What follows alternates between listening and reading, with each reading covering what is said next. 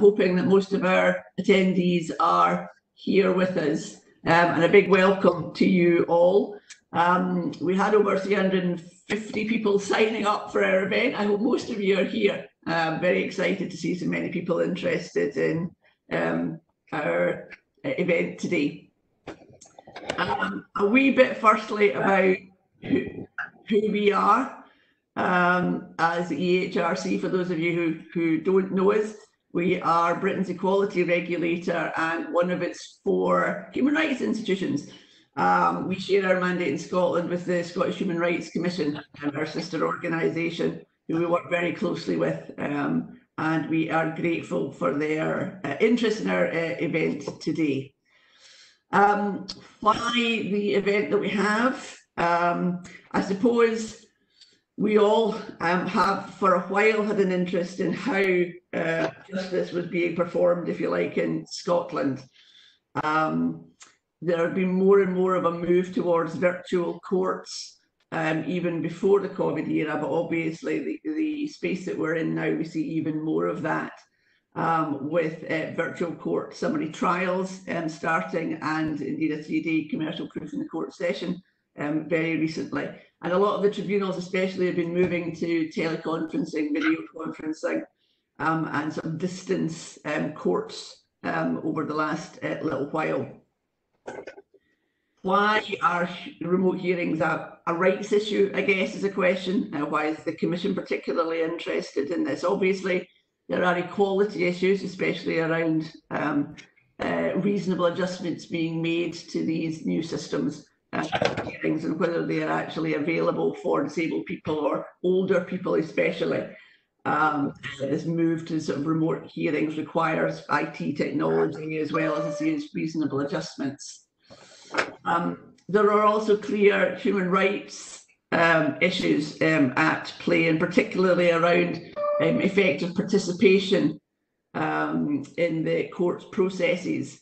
Um, so do the people who are uh, joining remotely understand the system that they're in? Are they able to follow um, what the courts are doing? Can they instruct their own lawyers effectively um, in these kind of settings?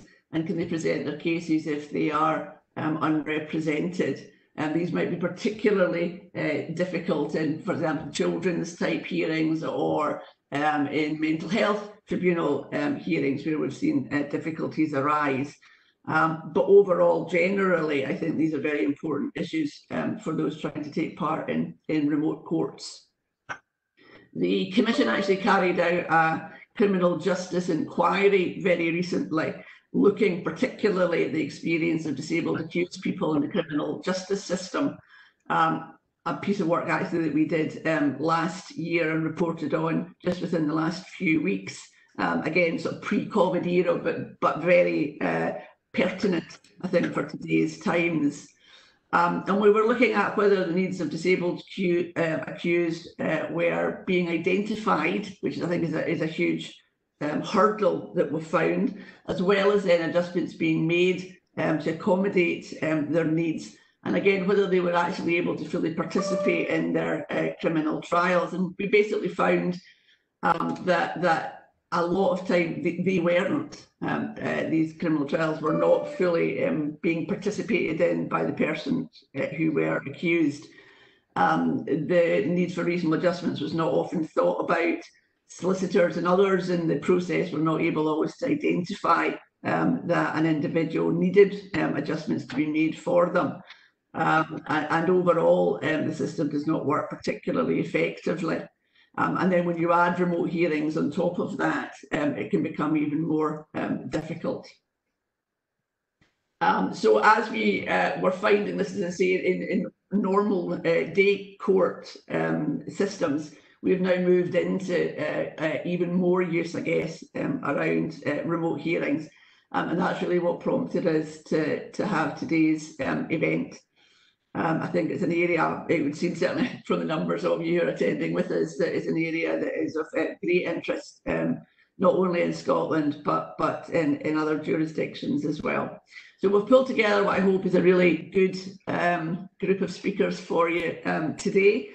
Um, and we're going to start um, our speakers with uh, John Scott, QC, who many of you, I'm sure, will, will know well. Uh, John qualified as a solicitor a time ago. I'm not going to say how many years that is in his bio, um, and was a partner in uh, and McInnes, um, uh, uh, I mean the criminal uh, firm in Edinburgh obtained rights of audience in the High Court in 2001 and took Tewkesbury in 2011. Um, since then, um, obviously, John's been involved in a number of very complex and high profile cases um, developing um, Scots law um, uh, over the years. Um, he's a part time advocate, deputy president of the Society of Solicitor Advocates, and many of you will know him as the chair of the uh, new major independent review into mental health here in Scotland, um, as well as now leading the independent advisory group, group looking at the use by Police Scotland of their emergency powers in the coronavirus, uh, coronavirus um, crisis. Um, he was formerly convener of the Howard League for Penal Reform in Scotland till uh, 2018 um, and chaired the Scottish Human Rights Centre um, from 1997 to 2005. So a huge amount of experience to um, provide to us today. Um, John, can I uh, hand over to you? Of course. Thanks very much, Lynn. Can you hear me okay? Um, I certainly can. I hope others can too. Thank you. Um, well, I was delighted to be asked to uh, contribute today. I had read the EHRC feedback here because of my headphones. Maria is in twice. Maria, I'm going to have to ask you to um, go back out again. You're causing a loop in our system. I'm very sorry. Frank will email you separately, but you, I'll need to ask you to leave. My apologies, Maria. sorry, John, carry on. No, no, no problem at all. Um, yeah, I, I, I uh, um, had seen the report when it came out. Um, I had contributed some evidence to uh, to the, the work of the HRC uh, while it was looking at the Scotland, and it, it is an area that has been of interest to me for for some time in a number of different capacities. Um, I mean, remote hearings and the risks and opportunities. There is what one risk is that we think that remote remote courts are better than no courts, and to an extent that is true. But unfortunately, now it's been driving things, uh, and I think without uh, really any consideration being given to the parties, to the accused, uh, and in particular to uh, vulnerable accused uh, um, or those with uh, with learning disabilities or the like, um, and having to round the the system as it adapts to a new dealing with its work and the the massive backlog that has built up. One thing that I noticed from an early stage in my career was that uh, for a lot of lawyers, the courts and the court cases were really about them uh, and the their clients, the accused person parties, were really secondary to what mattered for them. And that was so to the extent that there's one uh, prominent QC who decided that it was really up to him whether an accused person have evidence or not.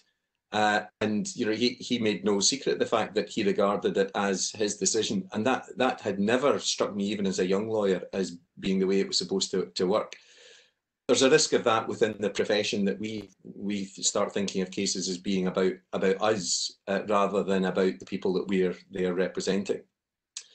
Um, and it's also struck me for quite a while that those with disabilities uh, or vulnerabilities are fairly poorly catered for within the system, and that's for a variety of reasons. And Lynn mentioned possibly the main one, uh, uh, certainly the, the, first one that comes to mind, which is just awareness. Uh, lawyers being aware or asking the question to make themselves aware of sometimes hidden disabilities uh, or a, a, recent, relatively recent appeal case where someone had Alzheimer's and dementia. And uh, although there had been a, a small red flag, no expert reports were instructed on that, and the, the, the man went through a whole trial, was convicted, and the conviction was eventually quashed on the basis that uh, he should never have been taken to trial in the first place because of his Alzheimer's. Um, so I think as a profession, we are not very good at picking up on uh, vulnerabilities in our clients. And partly that is because of the vast number of people that we deal with who have got vulnerabilities. So we start with a different baseline than the, the mainstream population. Um, when someone else comes in with addiction issues, with mental health problems, we've seen it so many times before that do we stop seeing it? And that's a risk. Uh, and it's in particular a risk for uh, the many in the profession who are dealing with a large number of cases, and in particular on the legal aid side, where the way to uh, to continue to earn a living is through doing a large number of cases, and therefore being able to spend the amount of time with each client that, that would be preferable and that would allow you perhaps just to get to know them and to work out if they had uh, vulnerabilities uh, or hidden disabilities or the like. And the other thing is, I suppose we're not trained in it. There has been a level of training for the police who are frontline responders in a lot of the situations, obviously the, the, those that end up in court. Um, but as a profession, we've not really had had any, uh, and uh, runs a number of, of risks. Um, so that there's uh, many uh, vulnerabilities that slip through uh, the the net that people who are no doubt now serving prison sentences um, who for whom adjustments should have been made uh, during the course of the proceedings just to make sure that they were able to follow and participate fully. But without that really having been given any proper thought, we have vulnerable witness applications. Uh, they're fairly common, but uh, very, very rarely do we see vulnerable accused applications, and that's the thing that I, I, said I would I would focus on mainly today. Now, the Law Society of Scotland has done some work on that, and there was a report on the vulnerable accused in April 2019, and then continuing work under Debbie Wilson, the convener of the Criminal Law Committee, and that's ongoing.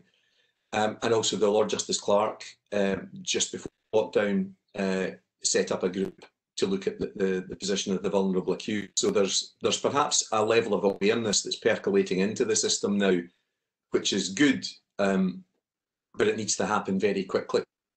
Um, and we need to learn from other jurisdictions which are further ahead us in terms of dealing with all sorts of vulnerabilities and participation, proper participation in court. And for example, the use in England and elsewhere of registered intermediaries. Now, of course, we don't have any in Scotland at all. In England, although they've got them, they don't have enough to uh, cater for accused people. So uh, the, if people are going to be prosecuted, if the state thinks that the, it's important enough, whatever they're accused of doing, to, to take it to court, then it's important enough to try and deal with the whole thing properly uh, and to assess, as the EHRC report suggests, assess individuals and their ability and their capacity uh, to make sure that uh, reasonable adjustments are made uh, and whether that is standard measures like uh, regular breaks or the like or something else entirely. Uh, the system's not really geared up uh, for it. And I think along the way, a lot of vulnerable or disabled people have uh, have been trampled uh, uh by the court's need and desire to get through the business. Um, one of the, the things that um, opened my eyes and, and widened my perspective was uh, being senior counsel to the main survivors group at the Scottish Child Abuse Inquiry. And that is a properly trauma informed uh, inquiry all the inquiry members from Lady Smith through to the lawyers that are taking statements have been uh, in, trained in trauma-informed practice. Uh, and you can see that in action. So that the, uh, for example, one witness who gave evidence was allowed to, was was able to have a, a small pram in front of her that had two Yorkshire Terriers and, and that enabled her to give her evidence uh, through recollections of the trauma. There has been use of live links in particular, where there have been witnesses in uh, Australia was the, the most recent example. And that's worked reasonably well, but I, I, think it probably lulls us into a false sense of security uh, because while there's been lots of reports on the use of remote hearings, where the system as it was didn't really properly acknowledge and respect uh, some of the difficulties that people had. With remote hearings, it's even more potentially going to be about just getting through things and, and trying to deal with the backlog. Because some of the feedback from the early remote hearings in England was that the parties didn't didn't think it was good at all. There's some evidence that suggests an accused person will be dealt with more harshly if it's not uh, in a face-to-face -face encounter with the judge. Um, now, while, for example, in sentence appeals in Scotland, for some time, accused has been, the appellant has been uh, on a, a, live TV link, um, and, and, that was accepted by appellants on the basis that they didn't want the disruption that being carted off in the prison van and then having to wait around for hours and then waiting for everyone else to finish their appeals and then be taken back and missing their visits. But on the other hand, my impression is that there's not the same participation in it. They don't feel that it's about them. It's just like watching a tell. They may well drift off. And since lockdown, I've had the experience of I've done one remote hearing. Now the the person I was representing in that was a, a retired former diplomat, uh, and so he was able to to uh, take part to the extent that he, that he wanted basically just watching it. It, um, it wasn't uh, an evidential hearing or the like. Uh, but I've had some consultations with people in prison where I've been on the other end of a mobile phone and the TV link has been between the solicitor's office and the accused person in prison. So there's someone I'm representing on a charge of murder now, and I've never seen him face to face. And th there is no connection. I, am two screens away from him.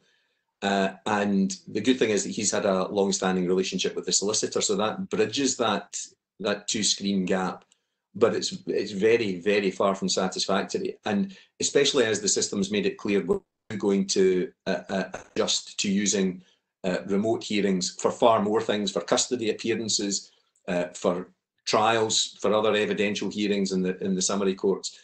Um, we need to make sure that that acknowledges some of the things that are uh, explained in the EHRC report and that actually we take the time to make sure that the most important people in cases, which is not the lawyers and it's not the judges, it's the parties, it's the accused person, it's the, the witnesses, it's the complainers, uh, that they are able to fully and properly participate. And if that means that we need to do bespoke assessments in individual cases, if that means we need to have better training on awareness for lawyers, for police officers, for others, then that's something that we should simply do because if it's important enough to prosecute the, the cases and the, the more serious the cases, the, the, the, more this is true. If it's important enough to prosecute the cases, then it's important enough to, to make absolutely sure, as sure as we can be, that the, the person at the heart of it is able to participate as fully as possible. Uh, so I'll leave it at, at that uh, just now. Thanks, Lynn. Great, thanks very much for that, um, John. Uh, very interesting. I should have said before John had started that um, we're going to take questions in the panel at the end. Please do um, leave us your questions in the chat function um, on the uh, right of your screen, um, on the buttons at the bottom of your screen. Um, you'll have a uh, far right, there's an X for leaving, please don't do that. Um, but uh, not the next, but the one after uh, button is your chat button. It's like a little quote uh, mark. Thank you again, John, um, for that. Can we move on now to um, our next speaker, Sarah Craig? Um, Sarah is a senior lecturer in public law um, at the University of Glasgow.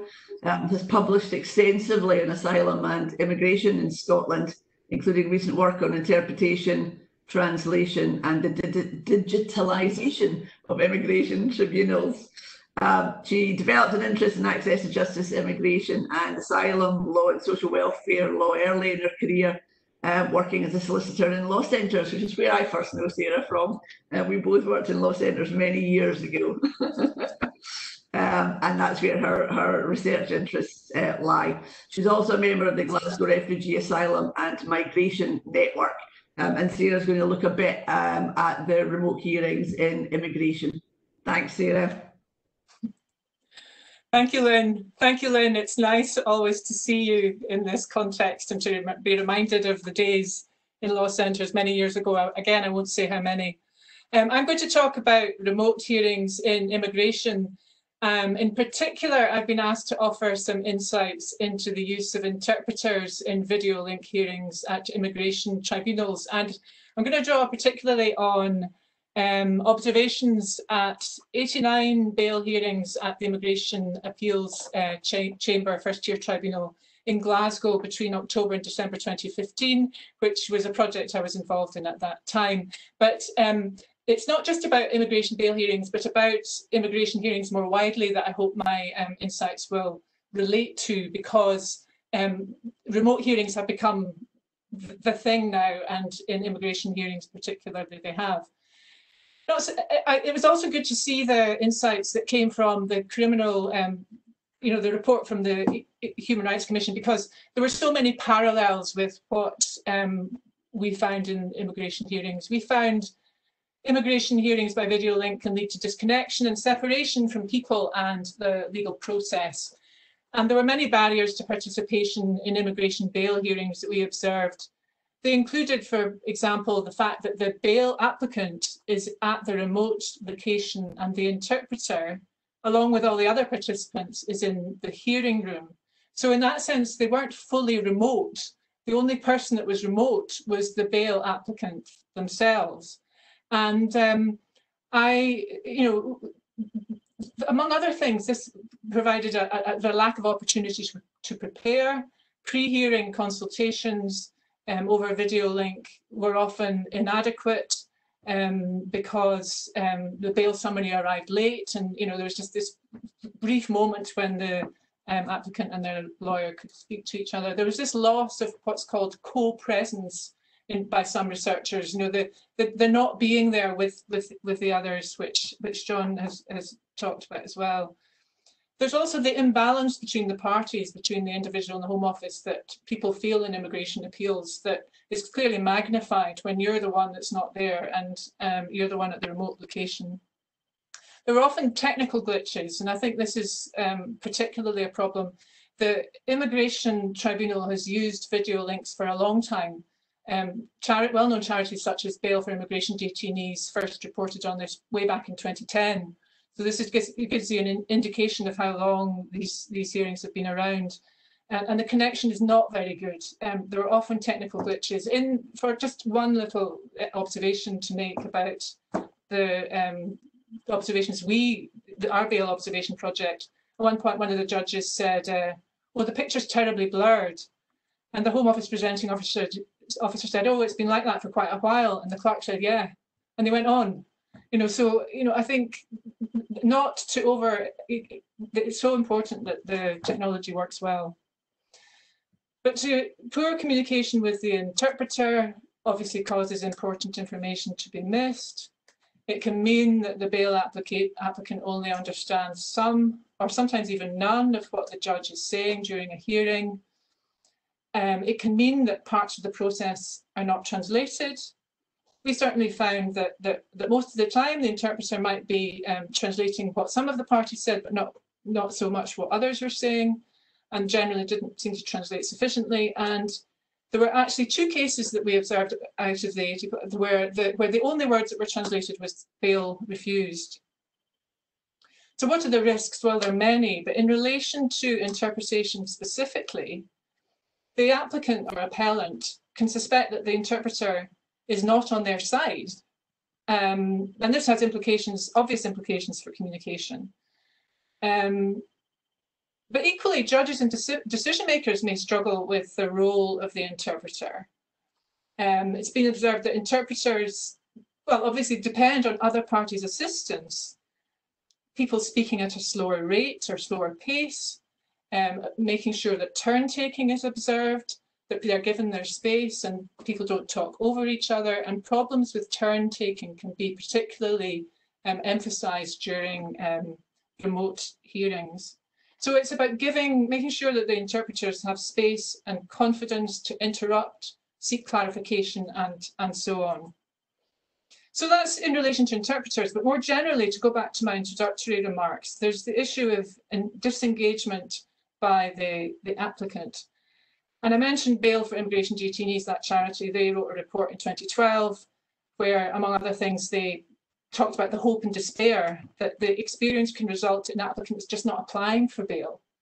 And I think there's one particularly telling case that expanded on this. It's a case called VC, which, which you may be aware of from 2018.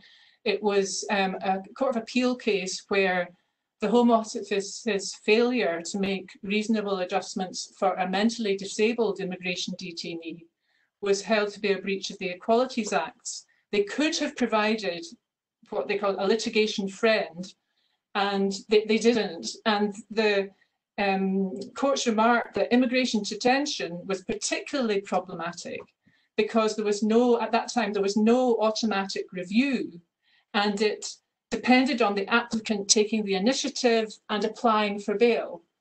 And um, there isn't really time to go into here the whole problems around the lack of a time limit for um, immigration detention in the UK, which has been well documented on human rights grounds. There is now an automatic review of immigration detention after three months.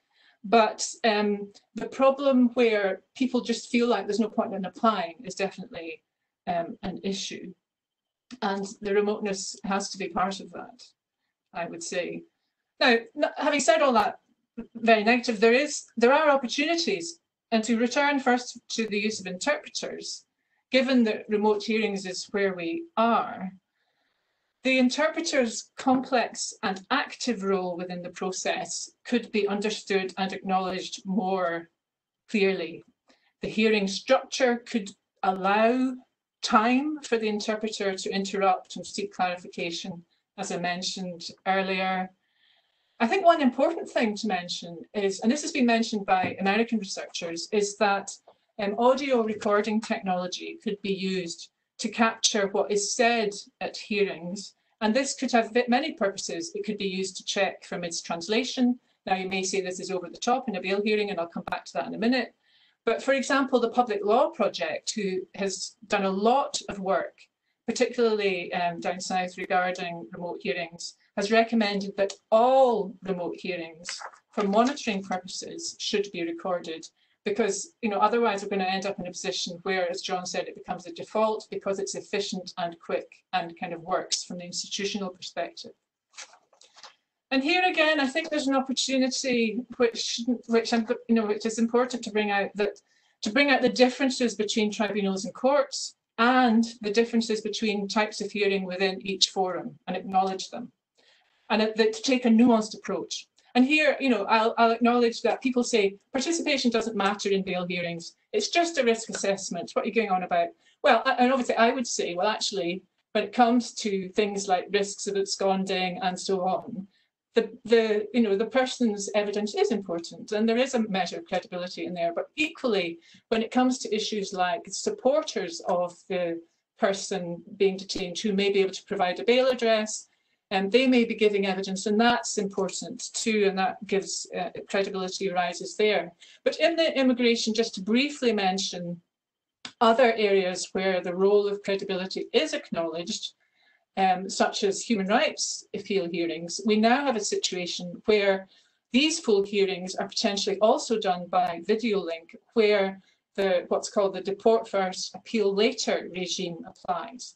And this is the regime whereby it originally applied to um, foreign national former offenders who could be um, deported before they were um, heard. And therefore, you know, obviously the appeal hearing would be by video link. And we now have guidance from the Supreme Court in the Kiarie and Byndloss cases that said that um, if an appeal right from abroad is not effective in relation to a person's Article 8 rights, then the in-country appeal should be available. That was an important judgment. It did say it depended on whether the, you know, the, the need for oral evidence would make a difference to the proportionality assessment. I don't have time to go into that. But nonetheless, I suppose the point I'm making is you could almost see the bail hearings as a thin end of the wedge, and that was prior to COVID. So we now have it, you know, much more entrenched uh, or potentially entrenched in immigration and adding another layer in relation to that, that process in terms of accessibility. I think I've only got about a minute or so still allowed in my time, and I was asked by Frank to say what my one ask would be, and it's kind of an obvious one in this setting, and it is that to use technology to protect the applicant or appellant's rights and not only to promote institutional efficiency. And, and I think that needs to be thought about in a, in a nuanced way, and I invite you to do the same. So just in relation to bail hearings, I'll say a couple of things. Address the loss of co-presence. So you could actually co-locate the interpreter with the applicant in a bail hearing scenario. You might, you know, in, in the, the hearing centre, where, sorry, the removal centre where the individual is being held is secure and you could have the interpreter there without losing too much control of what's going on. You could do that, I would suggest. You could even have the legal rep there, but that might be difficult too. Nonetheless, it's worth thinking about, I think. And the other thing is to enable, for example, the witnesses for um, applicants' sureties. In our in the research we did, very often the supporters of the bail applicant um, lived in England or elsewhere, even though the applicant was being detained in Dungavel. And it was hugely difficult for them to come to the hearing centre. So you should be using technology to assist people. If they're just saying I'm about providing a bail address, why not let them take part by video link? Use it for them and not just for the institution. But ultimately, communication is key in so many, in all these processes. And so where it's compromised, and I would suggest when you're using interpretation, you know, it potentially is compromised. Don't have remote hearings as the default. And certainly in bail hearings that we observed, 80% plus were by, were remote and it was the default. So please, you know, learn from this and take things from it, but don't use it always as the as the future. thank you. And thank you, Lynn, for um, and Frank for inviting me to come along. Oh, not at all. Thank you very much. Um, so that's very interesting. And yeah, I can see how interpretation certainly adds yet another layer of horror to some of this stuff. Um, thank you for that. Uh, again, uh, any questions um, in relation to what Sarah said, please add them to our, our chat list. Um, our next speaker was to be Maria, but I think she has still not managed to get in and stay with us. So if it's okay, May, um, may I move to you early? I hope that's not a difficulty for you. Um, May Dunsmuir, many of you may know, is the President of the Health and Education Chamber of the First-tier Tribunal um, for the Health and, yeah, the Tribunal for Scotland, the Health and Education Chamber. May was appointed um, President of the Additional Support Needs Tribunals um, in 2014 and became the President um, of the Health and Education Chamber in 2018 uh, when the ASNTS transferred into that uh, particular chamber. Uh, qualified solicitor with a background in children's hearings, um, and May was a convener with the ASNTS since 2010. She was also formerly an in-house convener with the Mental Health Tribunal for Scotland and a lead convener for child and adolescent mental health tribunals. Um, so May has some um, very direct ability to uh, deal with the issues of remote hearings um, as she's having to do at the moment. Um, and it'll be very interesting to hear um, how that's going for you. Thank you, May. Thank you very much. The risk of um, remote hearings is that you sit back thinking you've got a lot more time before you have to. Um, but I'm glad to be speaking to you today. I want to cover this by looking at from two perspectives, well, making two particular points. First of all, uh, an access to justice point, and secondly, an effective um, participation perspective. So, looking first at access to justice, what do I mean by that? Well, I, I thought it'd be quite helpful to look at this from a circumstantial circumstances perspective and then look at it from the person's perspective. I, wanted to start by emphasising, in terms of circumstances, that a decision on the type of hearing that will be uh, conducted, certainly in a tribunal perspective, and I'm speaking uh, to you this afternoon about the additional support needs jurisdiction, although I'm going to refer to one or two other tribunals in the course of this. But a decision on the type of hearing will be a judicial decision. It's not an administrative decision, and that's important because the decision will be taken after considering the facts and circumstances of each case, including the preference of the parties, and particularly in my jurisdiction, the preference of uh, the child, uh, where one of those parties is a, a, a child party. It's not a case of one size fits all. Uh, and when we consider access to justice, we need to remember that access covers all aspects of justice. It's not um, just about what happens at the hearing and what the decision is. It's, for me, uh, the beginning to the end of the process. In its fullest sense, it's about the person experiencing throughout an environment of independence, impartiality, integrity, propriety, uh, equality, competence and diligence. And some of you may recognise these as the Bangalore Principles, which guide all Scottish judiciary in their decisions. Now, those principles are set uh, in the Statement of Principles. Uh, sorry, I'm get. Are you managing to hear me okay? No, I just got a wee message there. I'm going to assume you're hearing me okay. Um, those principles are set in the Statement of Principles, uh, which it is hoped that members of the public can take comfort from from the knowledge and expectation that judicial decision makers will be making decisions in the context of those principles. But looking at what we're faced with at the moment, all physical uh, tribunal hearings in Scotland were postponed from the beginning of lockdown. And some jurisdictions like the Mental Health Tribunal and the Additional Support Needs Tribunal have been using telephone uh, conference hearings, although the Additional Support Needs uh, jurisdiction is only using these for time critical hearings. In most tribunals, uh, there are options in terms of how evidence is taken, and there are options in terms of how a hearing will be conducted. The options at the moment are um, for a telephone conference hearing, for a video conference hearing, or for a decision to be taken on the written evidence that's without an oral hearing. The thing that's been taken away from us at this moment in time is the loss of the physical hearing. Uh, and that's what's prompting this afternoon's debate and much debate that's been going on since the beginning of lockdown. While we cannot use what we think is the most preferred option, uh, that's the physical hearing. We simply can't wait this out. Uh, justice must be fair, it must be efficient, and it must be, in some cases, expeditious. Now, when I say about the physical hearing, uh, when I say we think, I, I'm saying that simply because we don't really know uh, it may be, may well be that we discover there's a preference towards video or telephone hearings that we've been unaware of because we simply haven't tapped into those as options uh, for uh, the additional support needs jurisdiction.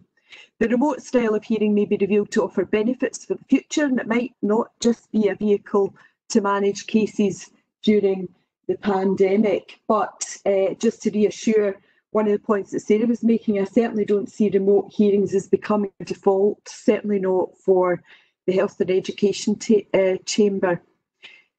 Tribunals will usually have the option to take evidence using telephone or video link, and some use telephone conference for pre-hearing judicial case management, so the concepts aren't new to us. What is new is the use of these for the end-to-end tribunal hearing. This is not something that we're used to employing. We've not conducted a review of the tribunal experience in Scotland to match the recent um, EH, uh, the Equality and Human Rights uh, report into the criminal justice system or that of the Civil Justice Council um, conducted by Dr Natalie Byrom, but we are collecting views across the jurisdictions about the remote hearing experience. And uh, to date, that's involved telephone hearings uh, for Scottish tribunals. However, from July, a video platform will be tested by my own chamber in the additional support needs jurisdiction, and we'll be looking at the use of Cisco WebEx, which we're using this afternoon, and which has had some success in the Scottish courts. So that's the circumstances. If if that's the circumstances, then what about the person? In the additional support needs jurisdiction, we see children who have profound, complex, and multiple health conditions. The majority will have one or more disabilities, and many have autism. The Scottish justice system is appropriately concerned to prevent children such as those being uh, exposed to judicial proceedings. However, in our experience, this doesn't necessarily reflect the felt position of our children who may themselves wish to be given an opportunity to be heard in their own hearing and in the fashion they choose. And to my mind, access to justice means quite literally moving uh, heaven and earth to allow those who are the subject of the proceedings who want to participate to be able to participate and to use any means possible. In the additional support needs jurisdiction, I say anything is possible, which is possible. And I've given a commitment to children that I'll listen and learn directly from them. And, and this has actually led to some of the most important child-led innovations in the additional support needs jurisdiction since its inception in 2005. And that includes the introduction of new sensory hearing suites, physical hearing uh, suites. And uh, I, I mention this because learning directly from children is far from forward. And when I say direct, I mean face to face, in person, uh, and doing that using a range of different means.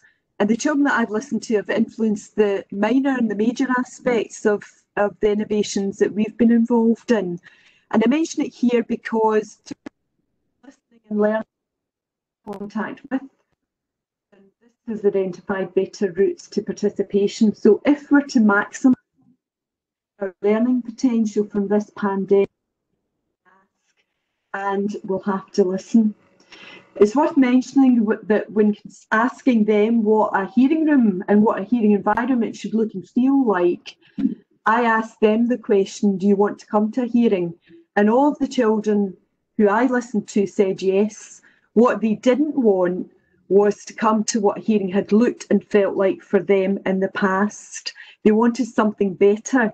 And so we went on to create something better and we launched it on the 25th of February, a few short weeks before lockdown. And now I find myself having to identify a suitable alternative in this new sterile environment in which we live. Despite the challenges, though, it remains crucial that justice is felt, experienced, done, and seen to be done for this to happen, it's my view that the environment and the atmosphere of the remote hearing must continue to promote effective participation. The UN described access to justice as a basic principle of the rule of law. In the absence of access to justice, people are unable to have their voice heard, exercise their rights, challenge discrimination, or hold decision makers accountable. And Lord Neuberger, former President of the Supreme Court in 2017 said that while much of the responsibility for ensuring access to justice lies with the government, it's not just the government, and he's talking there about the legislature, it's not just the government which should be expected to facilitate access to justice. Lawyers and judges have an equal duty. And he goes on to say it'd be quite wrong for me to give the impression that lawyers and judges can get away with standing on the sidelines and criticising. They have a heavy duty to do all they can to support and improve access to justice for ordinary citizens. Now, before I move on to effective participation, I'm only going to very briefly touch on um, the CRPD and CRC because I expect Maria Galli will want to talk about the CRC. But just a reminder that Article 13 of the Convention on the Rights of Persons with Disability um, tells us that state parties have to ensure effective access to justice for persons with disabilities on an equal basis with others.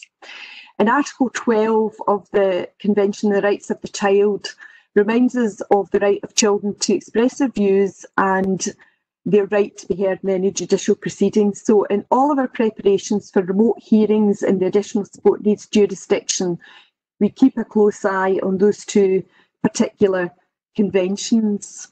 So what should effective participation look like? And I'd like, I'd love to have a visual aid for you here. I've decided not to use any PowerPoint slides in case it uh, corrupts anything. But I would commend Hart's ladder of participation, which was introduced to me fairly recently, and it talks about the different levels of participation. So you can Google that uh, later. But effective participation, from our perspective, uh, looks like something uh, like the following. First of all, the child or young person, or whoever that may be, well be, whether that's, as John described, vulnerable accused or, or others, but the child or young person must remain at the centre of the proceedings. And we have to see the proceedings through their lens, not our own lens. We need to take account of the fact that a remote hearing would be taking place potentially in the child's home. And as reports have already uh, highlighted we must guard against invasion whilst recognising that taking the hearing to the child might actually work better for some children. The SEND, the uh, equivalent of my jurisdiction in England, who as of last Tuesday have now conducted over a thousand video conference hearings uh, since lockdown, have noticed that more children and young people are, are actually attending video hearings and some of them have been seen dancing and in, in the background. Uh, they seem quite comfortable using their phones or tablet when joining the, the video conference hearing. Secondly, sensory hearing principles continue to apply. And for that to apply, that means the absence of the unnecessary. There needs to be uh, uh, less background clutter uh, and very little noise we need to give a choice of the type of hearing, whether that's telephone, video, or no oral hearing but a paper hearing. And we have to acknowledge, as the uh, EHCR uh, report picks up, that uh, video hearing might not be suitable for people who need support with uh, communication, particularly with poor connections.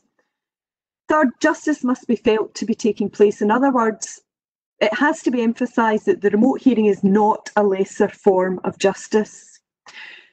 Justice also needs easy external access. We must make sure that the necessary technology is available in the child's home. Uh, I don't know how many different VC platforms you've used during lockdown. My poor computer and my weary brain learned one kind only to discover another news the following week. And justice needs clarity and understanding. There needs to be reassurance throughout the hearing and an emphasis on the quality of the process. We must also make the request for a physical hearing, and if a case isn't time critical, then we have to take that very much into account. Fourth, the overriding objective always applies, and in the tribunal, that means equality of arms, efficiency, and expediency, uh, taking decisions without delays as far as possible. I want to quote Lord Carloway in his recent report on this. He says the cry of it's aye been cannot prevail. We have to seize the momentum and opportunity to respond to the particular challenge. The reward of having a new, vibrant, progressive, digitally enabled courts and tribunal service may just be within our grasp.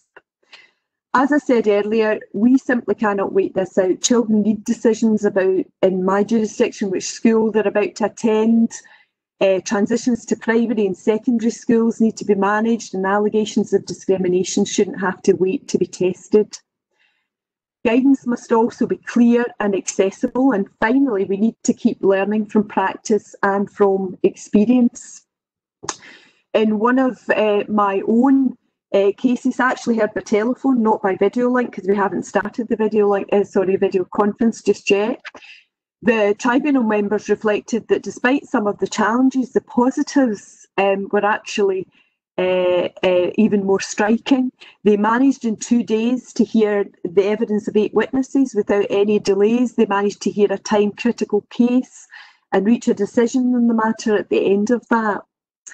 So, to conclude, uh, we must work hard to earn the trust of those at the centre of our proceedings. They must experience and feel justice despite the remote hearing. They mustn't be left with the impression that this is a second rate version.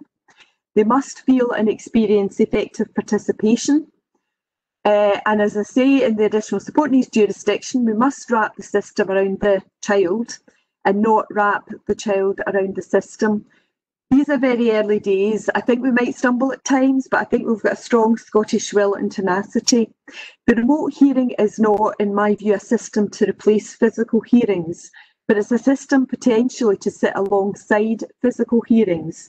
It's an answer at this point in time because we quite simply can't have physical hearings, but um, it could be an option for the future. So I'm going to end now with uh, an air of optimism rather than pessimism, and I'm confident, I hope, uh, that we will prevail. Thanks very much, uh. I like ending in a spirit of optimism. Excellent. Um, I think we still haven't managed to get Maria. And an awful lot of Oh, I think that's better, thank you. Um, so uh, yeah, we can't get her in at all. Um, I'm really sad to say.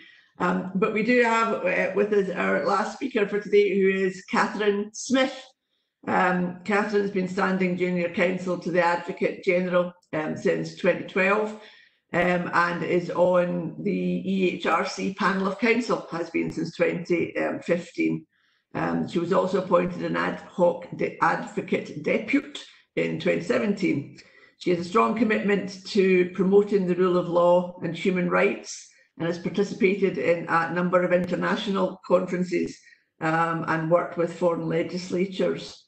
Catherine is a founding member and the deputy chair of Justice Scotland, um, which is the, the reason we have her here specifically today uh, Scottish arm of the London-based NGO, as most of you probably know, and is also co-founder and chair of the John Smith Centre for Public Service, based at the University of Glasgow. Um, can I hand over to you, Catherine?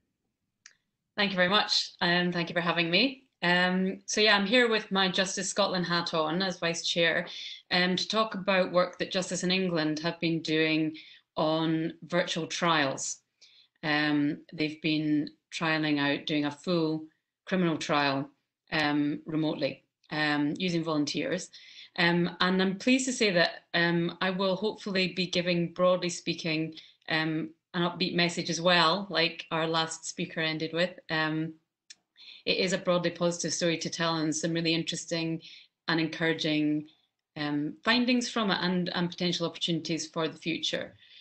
so I just want to really give an update on how it went um, and maybe just make some suggestions um, for opportunities um, uh, and and highlight some risks, but I'm going to focus more on opportunities.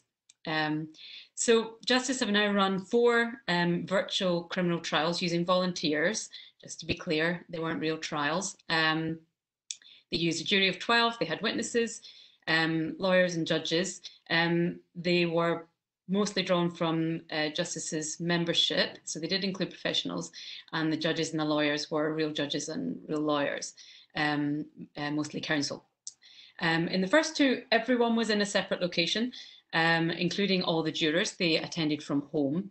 But in the second two trials, they had jury hubs, uh, and they brought the uh, jurors together in a physical space in London. In a civic space and socially distanced them and provided them with the facility to uh, join the trial from one room, um, which the assessment ultimately has been that that was a much um, more successful format than the jurors joining individually, um, principally because you then eliminate 12 possible technical problems down to one, um, because you're only needing one feed. Um, the process has been evaluated by two academics um, who specialise in the field of court design and effective court participation um, and are specialists in, in people's experience of the justice system and they have produced a report on um, following each trial. Um, it's not been an academic exercise though. Um, the purpose of trialling these is to uh, seek to find out whether or not they can be a real solution to the backlog which is mounting in both Scotland and in England um, in terms of criminal trials. Um, and it's partly also to address the calls that there have been for judge-only trials, um, which has been an issue um, north and south of the border. Um, and uh, Justice Scotland produced a response to the Scottish Government's um, suggestions about this, saying that it should be absolutely regarded as a, a measure of last resort. Um, and in our view, virtual trials ought to be um, considered and if um, if it's found necessary to eliminate them, they should be eliminated first um, rather than going to a judge-only trial. Um, the Justice Secretary Robert Buckland QC MP gave evidence to the Justice Committee of the House of Commons last week, thanking Justice for their trials and saying that he's more in favour of it than he would have been prior to seeing the work. Um, so it is um, firmly on the agenda down south. Um, and indeed our uh, Professor James Chalmers, Regius Professor of Law at Glasgow University, um, who is a, a long-standing friend of Justice Scotland, had made it clear to us that he was very sceptical about whether or not such a thing could be a success. So we invited him to participate in one of them, um, and he completely changed his view. So broadly speaking, we'd say that the experience of those who participated in the trials um, or who viewed them um, were very positive about it. And many of them had come with um, deep skepticism about whether or not it could work or be effective. So it, it really is a story of converting people's views about whether or not it's a viable way forward. Um, and certainly um, from Justice's perspective, um, whilst we don't say it's necessarily perfect yet, um, it's, um, it's certainly a viable option in our, in our opinion. Um, so I thought I would highlight a few of the findings um, from the evaluation reports that might be relevant to the discussion at this event. Um, I think it's important to be clear about what it is and what it isn't, and, and this touches on some of the comments from the earlier speakers, um, particularly about the immigration bail hearings. Um, this was a format where everyone is appearing virtually. Everyone is on the screen. And that is tangibly different from a situation where only one person is appearing, um, whether it's um, uh, an asylum seeker or um, in the immigration tribunal or an accused person. Um, and all those feelings of being marginalized um, are, are not the same in this format. It's a much more equal format. Um, and that was a really important finding from it, particularly from the perspective of the accused. Um, one of the other takeaways we would say is very important is that if you're trialing something like this, and I think one of the other speakers has made this point, it's really important to evaluate every trial. It's important to continually seek to refine the process and to learn lessons. Another finding was that um, participations need really good preparation prior to it. They need to understand what's going to happen. Now, the court system, to a certain extent, recognises this now, and a lot more support is provided to lay people attending court. Um, and it's, it's equally true um, in this format. So Justice prepared videos for participants to watch that told them about what to expect, but also about their what they should expect their particular experience within it to be. Um, and really, we took the view that if you're going to do it properly, there has to be a way to guide people really from the entrance to the virtual court building right to the courtroom to walk them through that and to allow them to understand what's going to happen and what to do if they have a problem. Um, the way one of our participants put it was if, if you treat it like a Zoom call, then it'll feel like a Zoom call. Um, so we didn't do that, at least we thought later on not to do that and and to make sure that it people understood the, the, the um, the format that they were in and what was expected. Um, we found that the layout of the screen was important. It sounds like a small point, um, but it, was really important um, that the judge could be seen by everybody. It was less important that the jurors had prominence. Um, and what we know from a pilot summary trial that's been conducted in Scotland is that, that they ran into problems there by not um, designing the screen in a way that they could control um, who appears where. Um, so it's a small point, but one of importance. Um, we found that court dress and the backdrop was really important. Um, in our earlier trials, paid less attention to this, and it made a real difference to um, how people felt about it. If people are joining from their home, um, or potentially from an office, but not attending a court, it became clear that actually court dress, whilst it may seem slightly ridiculous to the person in their um, in their home, actually made a huge difference. We've got a coat of arms, put it behind um, the judge. Small points like that can actually be really important in setting the scene. Equally, in a different forum, less formal um, measures may be appropriate, but actually paying attention to that um, is is uh, a finding that of, of importance. Um, in terms of the experience, um, one of the main feedback points was that the virtual courtroom appeared to facilitate a greater sense of participation than an actual courtroom might. Instead of re rendering people more remote from each other, which you might wonder it would do because they're geographically remote, in fact, it seemed to make people seem uh, feel as if they were less remote. Um, it created a sense of intimacy because everyone is there on the screen um, and you can see everyone clearly. That's not always true in a courtroom. In fact, it's often not true. It's very rare to be sitting in one part of a courtroom and actually to be able to see the face of all the different players in the trial. Um, so there was a certain intimacy created there, um, which created a sense of cohesion, I think. Um, that also gives the potential to create a more equal and level playing field. Um, for example, the accused is simply another person in a box in a screen. It's not somebody sitting in the dock. Um, also manages the potential for the intimidation of people. Um, it's much more difficult to intimidate a person if everyone can see everything that's going on in the screen, um, or if you don't have a sight line that might allow you to connect with one person alone. It also seemed that jurors were more comfortable raising issues in this format than they might be in open court. Um, there were facilities um, by raising a hand or using the chat function where jurors could um, raise an issue if they had a, a, difficulty and they were more seemed more inclined to do that than um, the professionals who participated had experience of jurors doing in court. It's quite a thing to stop a trial in the middle of evidence to raise your hand as a juror and try and get the judges or the clerk's attention. Um, certainly I've rarely seen it done. Um, usually it's, I mean, jurors do the opposite. They wait until they're on the point of collapse, feeling unwell before they're prepared to do that. So, um, so that's a really interesting um, finding, I thought, that actually if someone's struggling to follow proceedings, there's a much better chance of um, making that clear. Um, we did identify need for adequate and frequent breaks. Um, I think it's um, now becoming understood as more people are participating in events like this that participating on screen is a lot more tiring and onerous than doing it in person. So that's something that needs to be taken into account um, in, in remote hearings.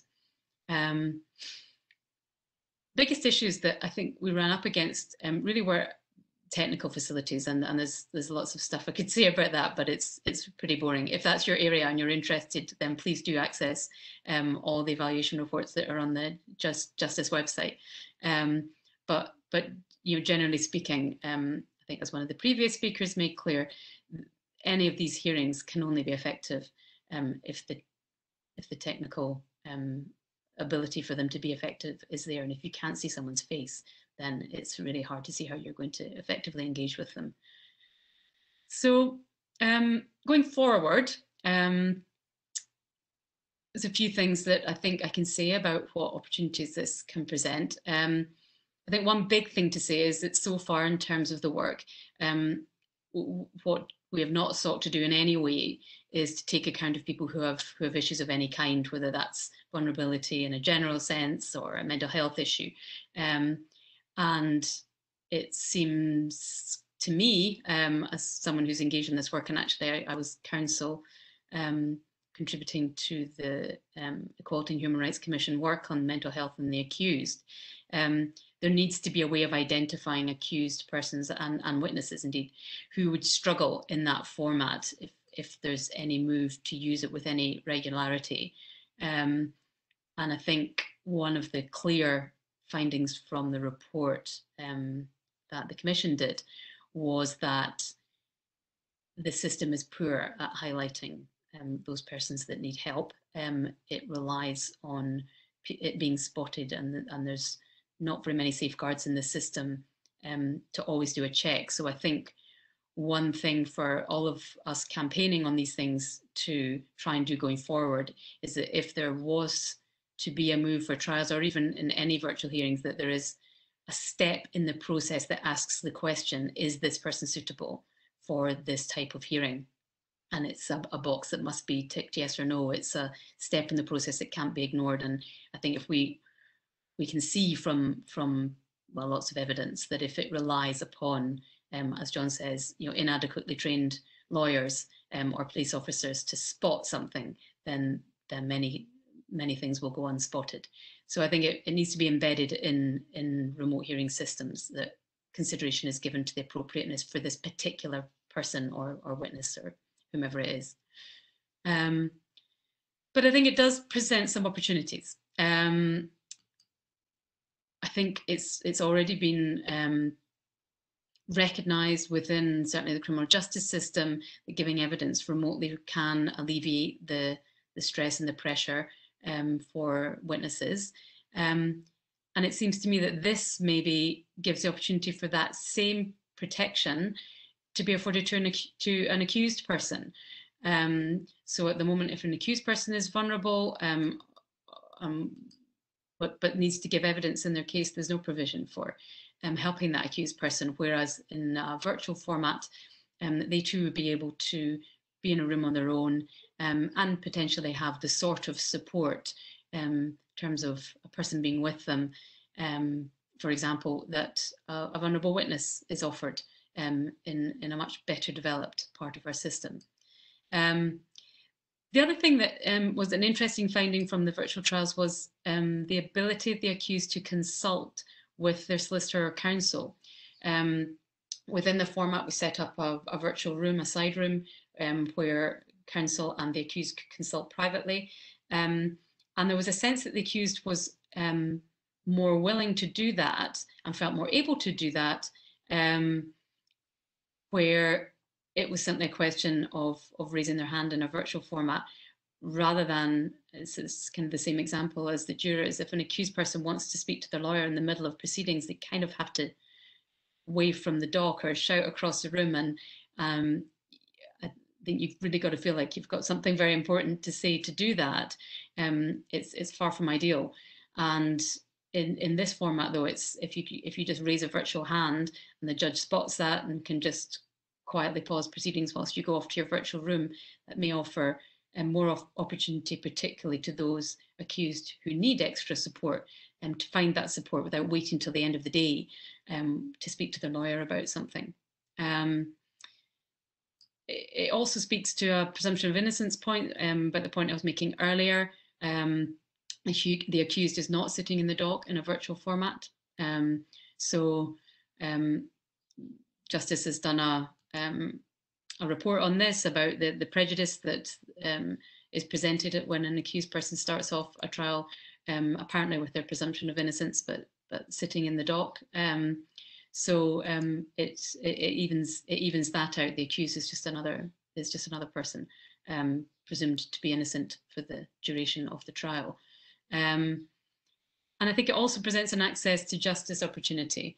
Um, and, and, this is true for all remote hearings. Um, at the moment, if you want to access justice, um, you can, of course, you can go to a court um, and, and sit in it, but um, very few people do, as um, most practitioners will know, there's not lots of people, members of the public, just idly sitting and watching proceedings. Whereas if you were interested in a case and you could join remotely from your desk, simply by signing up in some format, then it seems to me that that represents a real access to justice opportunity in a very wide sense, um, uh, and particularly um, for those persons for whom turning up physically presents a problem, whether that's as a result of a physical disability or a mental health issue or, or whatever it may be that there are people who've been more able to or more inclined to access justice if they were able to do so um, remotely. So that seems like another opportunity. Um, so that's it. I don't want to talk much longer. We're already eating into Q&A time, so I'll, I'll stop there.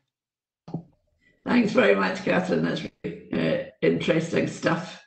Um, can I ask all of our panel to switch their videos and audio on, or at least your video for the moment, and I'll put us into a panel format where hopefully everyone uh, can see all of our panelists. I'm hoping this is going to work. I can certainly see you also. That's a good start. can I ask also if people are asking questions, can you make sure that they're being sent to the panelists so that we have all of them um, to hand, um, if that is okay? Um, I should say as well, I know people have been asking in the chat, we are recording this and yes, that will be um, available afterwards, tech um, permitting. Um, it does seem to be recording at the moment, so that should work, I'm hoping, and we'll send you links to that. Um, a question then for, for our panel. Um, as technology is ever increasing and hearings are happening more online and presumably will continue to be in the future, what do you think would be the most crucial aspect of current remote hearings that need to be improved to ensure um, that everyone's right to fair trial is adhered to? So the most crucial aspects that need to be better um, if we're going to continue with remote or extend remote hearings. John, maybe can I start with you? Sure, of course. Um, I, I think maybe we, we, as the, at least some of us as the lawyers in the cases need to be uh, more uh, in tune with the the party, the accused person, and to make sure that there's a responsibility, I think an increased responsibility on us to make sure that they understand before a hearing exactly what's going to happen. And if it's procedural hearings, then I, I, I don't, I, I know I've, everything I've said really sounded pretty negative about it. With procedural hearings, uh, there's a lot to be said for it. Um, you know, that a, hearing that might take five or 10 minutes and people are being brought from prison in, in Aberdeen or Inverness.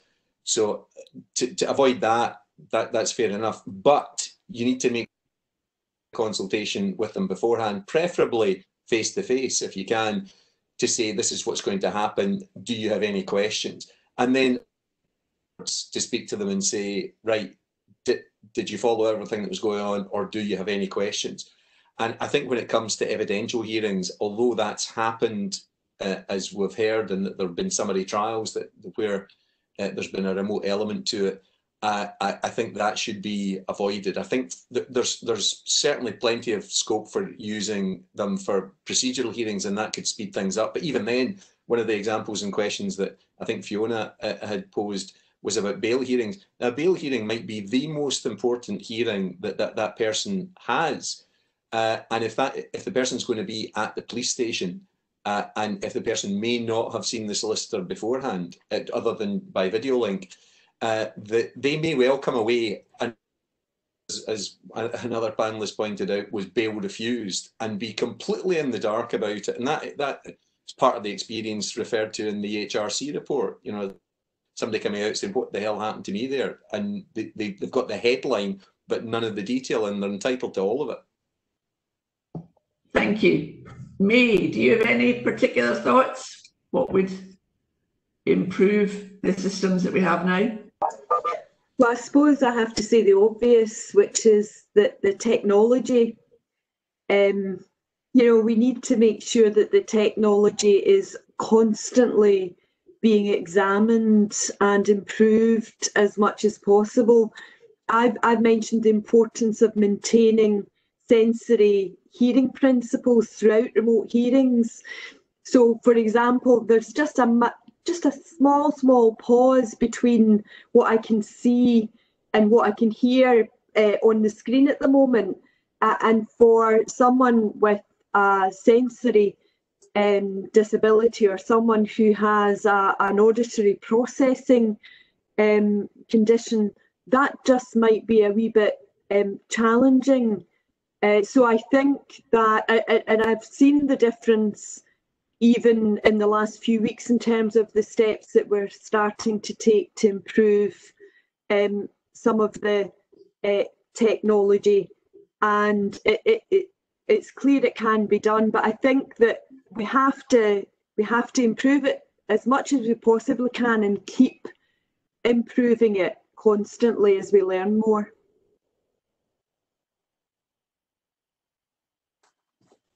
Thank you. Um, Sarah, Catherine, any comments you want to make on that question? Sorry, was that for me? Uh, yeah, if you have any, yeah. Yes, I mean, I think um, preparation, as Catherine said, for the specific situation that you're in, recognizing that preparation for an immigration case is different from a criminal case and preparation for a bail hearing is different from an asylum case. And I noticed on the chat, there was a comment from, um, I think Melissa saying that, uh, you know, there, there had been suggestion that an asylum hearing could take place with the individual in the solicitor's office. And you know, you're saying, well, the loss of the feeling of being in court, the loss of being co-present, if that's going to be our reality, you need to prepare really well so that people have the same opportunity to, to par participate. Um, and, that, and that requires, as I said earlier, thinking about where the interpreter is, thinking about what the interpreter is doing, giving them time and confidence to do their job, and keeping communication front and centre. Thank you. Do you want to add to that? Yeah, I think just slightly reiterating things that have been said, but it, it, the business of being able to to indicate that there's a problem. Um, so that was a positive, obviously, as I've highlighted from the trial, but that was only because provision was made for that. And I think what we're highlighting in all of the comments is that if you're an accused person joining from prison or or whatever your situation is, how do you indicate that you didn't hear something, that you didn't understand it, um, whether that's to the court or the forum or to your representative, there needs to be some ensuring that there's a channel there so that someone can raise their hand and say there's a problem. Thanks very much. Um, we've been asked, uh, there are obviously an ability uh, now for vulnerable witnesses or children to give uh, um, evidence by video link.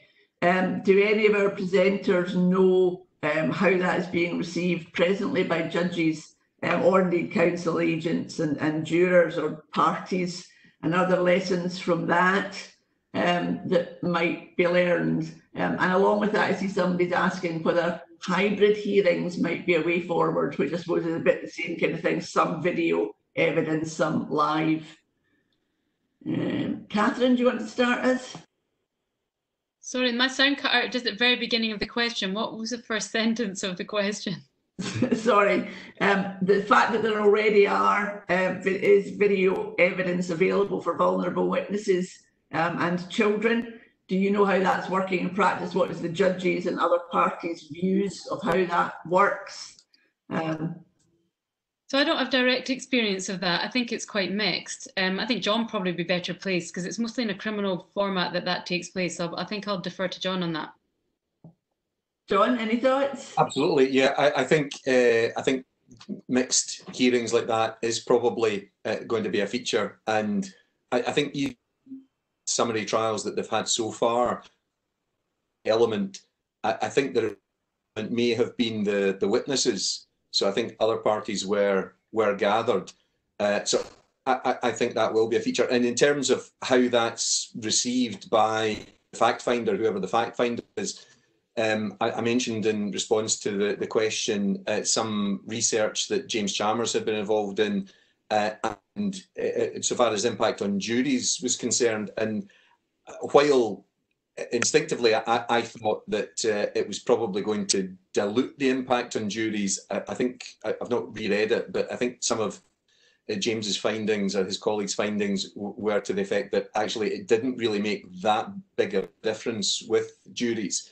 And I think so far as sheriffs and, and judges are concerned, if they were the fact finders, um, I, I, think they, they would understand that you know evidence on commission is in particular with a child or a, a, vulnerable witness, which is certainly something that they're they're trying to expand the use of and putting the disc in, and that's that's the evidence, and the, the witness has long since finished giving their evidence months or years before.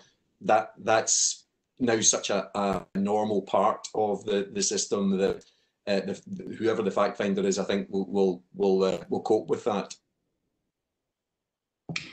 Thank you.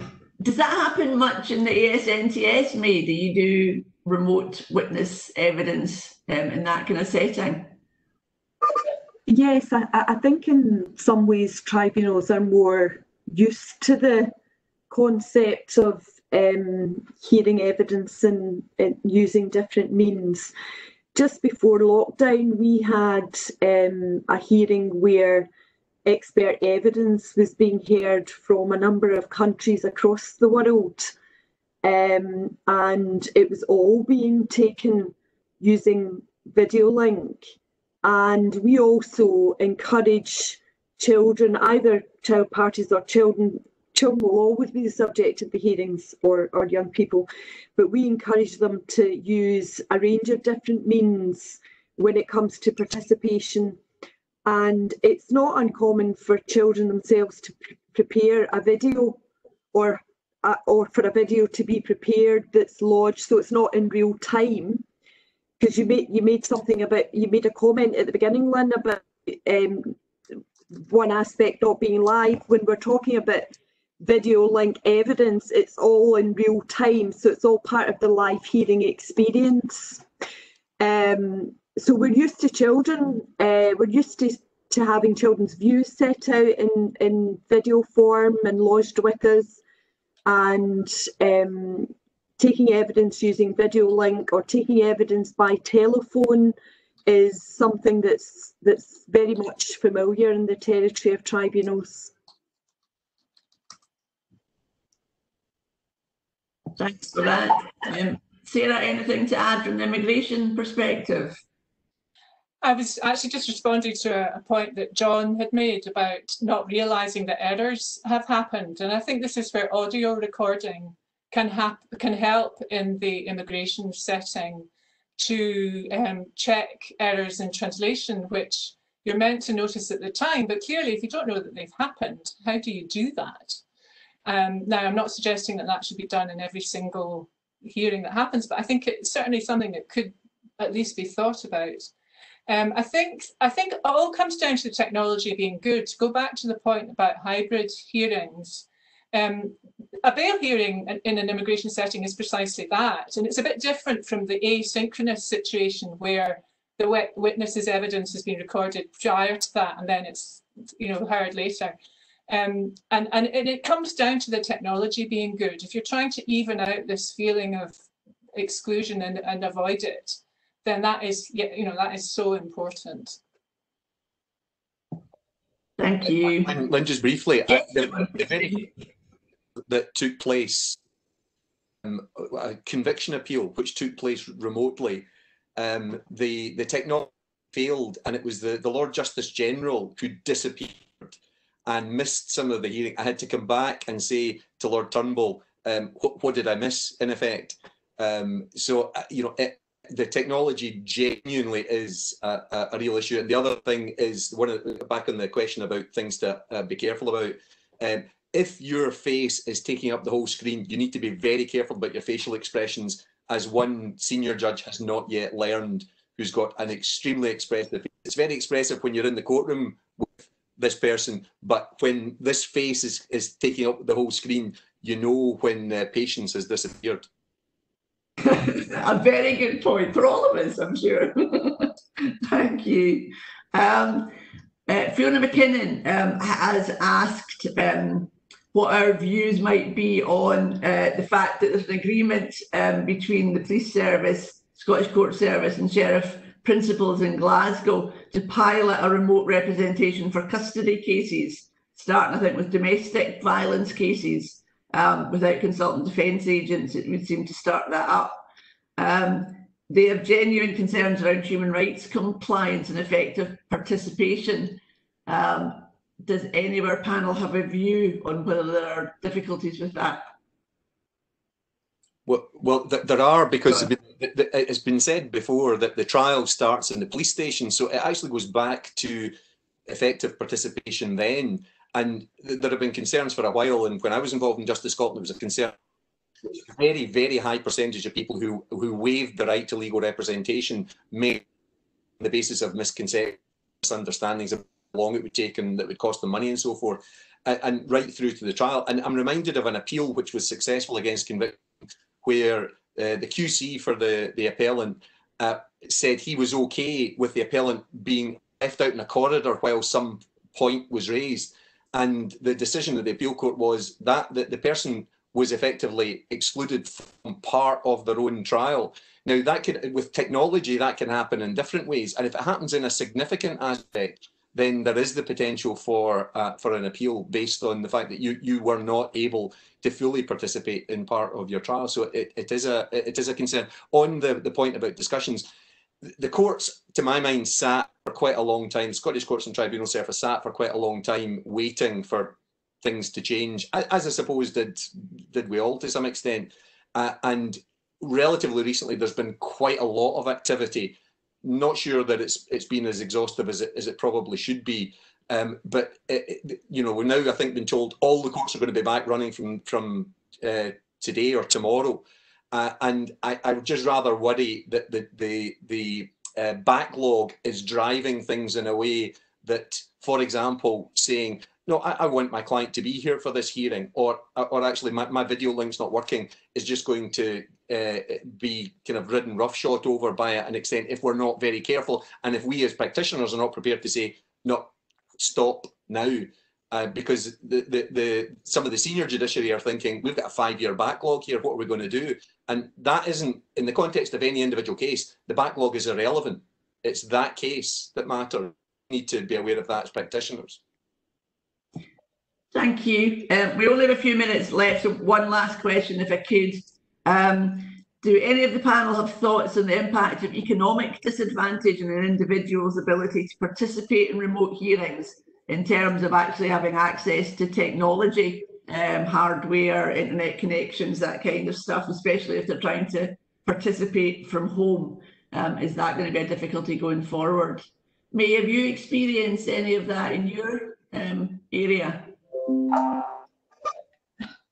It's, it's something I have a real concern about, and it's not something that I've actually um, experienced very much of. I have had a case where the uh, appellant didn't feel able to participate effectively in a telephone hearing because um, the impact of lockdown was such that the appellant had responsibility for other children who made up the family and uh, childcare uh, couldn't be put in place and the whole um, the whole prospect of engaging in any type of hearing to be frank but in a telephone hearing was just um, very difficult. Now, that's not really a, an economic disadvantage, that's a disadvantage that would impact anyone during lockdown, although I am aware that in this particular case there would have been an economic disadvantage